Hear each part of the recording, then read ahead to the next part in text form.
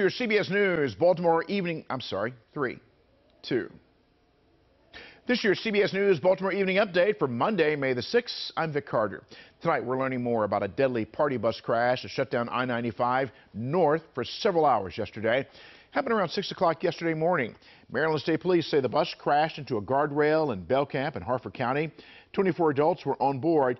Police say one passenger died at the scene. Several others were taken to local hospitals, including UM Upper Chesapeake Health in Bel Air and Aberdeen. The chief Medical Officer at UM Upper Chesapeake says that all 11 patients treated at the Bel Air and Aberdeen campuses have been released. Police are investigating a crash that killed one person after a car hit a vacant home in Jessup. Police say an officer attempted to pull over a speeding car near Annapolis Road and Reese Road, but the driver kept going. The officer did not follow the car. Minutes later, a 911 caller reported the crash into a nearby home on Jessup Road. Police say one passenger died at shock trauma. The driver and other four passengers were seriously injured. No word yet on whether any charges will be filed. Slow down if you're driving through Baltimore City. Starting today, there are new speed cameras on North Monroe Street. They're all set up near Matthew A. Henson Elementary and Carver Votech High School.